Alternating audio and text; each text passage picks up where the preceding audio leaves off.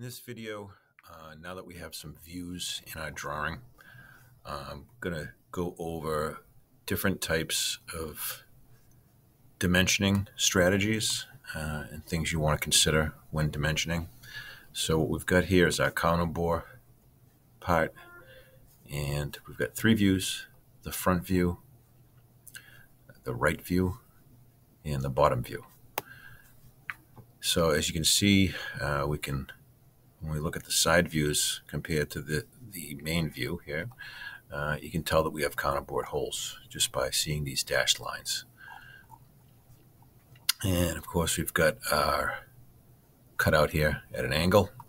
So we've got different things we need to do for dimensioning these part features. First thing I always do is I try to get the, the, the thickness, the width, and the overall length out of the way and I do those generally on the side in the bottom view. So to start with dimensioning, you can just press the D on your, your keyboard, or you could go to the dimensions up here and click on dimension. And there's very a lot of different types of dimensions, but we, we're going to do the D because that's sort of auto dimensions. It's, it's smart. It understands what we want to do.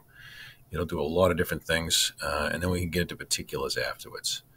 So I'm going to click on uh, D for dimension on my keyboard. So this thing's caught up right now. There we go. And so I want to do the thickness. So I'm going to do that first. So all I got to do is click on this line. It knows it's 408 thousandths. And then click again. So I clicked, moved, and clicked again. And do the same thing on the side. I'm going to grab that entire line. I'm just hovering over it, and then I click once let go of the button, move over to the right, click again to place it. Now the dimension is placed. And the third one will be the uh, overall length. Now I could do that up here. I could do that down here, but I like to leave room for some of the main part features. So I usually get that out of the way by doing it down here at the end. So I'll go from, from this line. It doesn't seem to want to let me grab this entire line here. So I've got to do two clicks one on this end on this line, one on that line at the other end. Then let go, move down, and click to place. All right, so these dimensions are brought in from the part model automatically that you've made. That's why you want to make it accurate because it's gonna. This is gonna follow it. Um, when you make changes to your part model, this kind of a, the, the the drawing screen will prompt you to update the update the uh, dimensions. Just so you know. Okay, so now we got to look at what do we what do we need to do? Well, we've got we've already got the length. We don't have to worry about that. We don't. Have, we got the width. We don't have to worry about that, right? So no repeating dimensions. But what we need to know is where these holes are located and from where.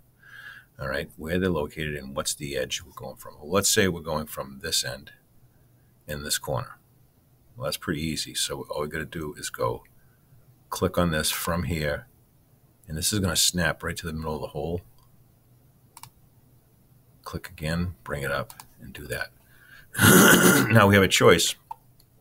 For the second location, it may be okay to locate it from the edge to here, or maybe the engineer wants to make sure we're going from here to here is the most important thing to do, so we'll do that. All right, so now we have them located on the X dimension uh, x axis. Let's locate them now on the y axis. So we'll go from here. We're going to use the top as our datum down to here. And that's okay. All right, so we've got our holes located. Uh, because there is no uh, dimension over here like this, this would end up the same thing. You don't need to double up on that in a drawing. You just need one. We want to keep it as uncluttered as possible. okay. So uh, we have another part feature down here. We want to make sure we're modeling, uh, dimensioning for the model, and that's uh, this angled cutout. So where is that cutout located and from what edge? We're going to use the same datum for our location of it. So I'm going to say it's dimensioned from this edge to the, the center of the angle right there. Okay. And then I'm going to give it a height up from here to here. All right, so that's an important dimension maybe from here to here. And then we got to give it the angle. This angle from here to here is 90 degrees. And what about the angle of from here to here? 135. All right, so that gives us the shape of everything and the location of the two holes. But the only thing we're missing is the hole information. So we can escape out of uh, dimensions and we can go to something else. Over here a little bit is hole and thread notes. It will automatically, if, as long as you as long as you create your uh, part features correct in your model, it will automatically put all your numbers in for the through hole, the counterbore diameter, and the counterbore depth. So I'm going to click on that and then just click on the edge of this hole here. Go down a little bit, place my note here, click again, and there we go. Two times diameter 310 through. That's this one. And then also counterbore diameter is 487. That's this one. By 175 depth, which would be from here to here down to this view.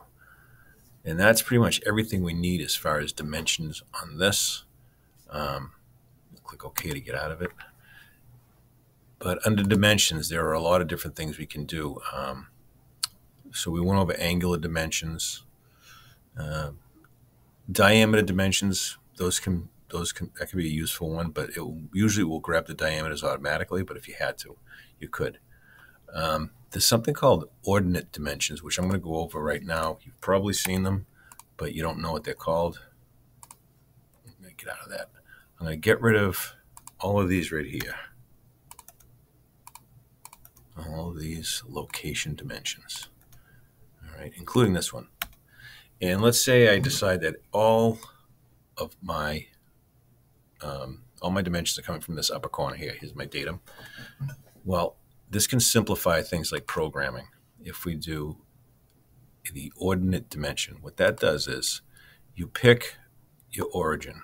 So let's say I pick this point and go up and click again. So that's my zero for the x-axis.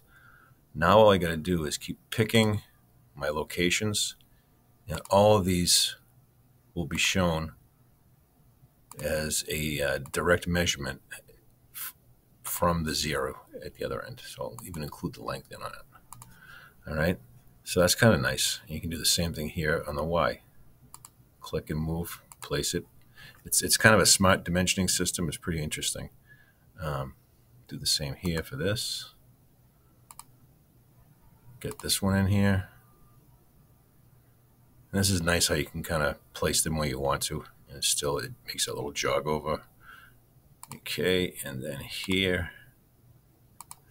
and then escape to get out of it, and I don't need this one. never want to duplicate dimensions, all right, no matter what. Um, and so that's just a different way of doing some dimensioning. Uh, hope this helps. Let's get get you started on on uh, on doing some dimensionings with your drawing in Fusion 360.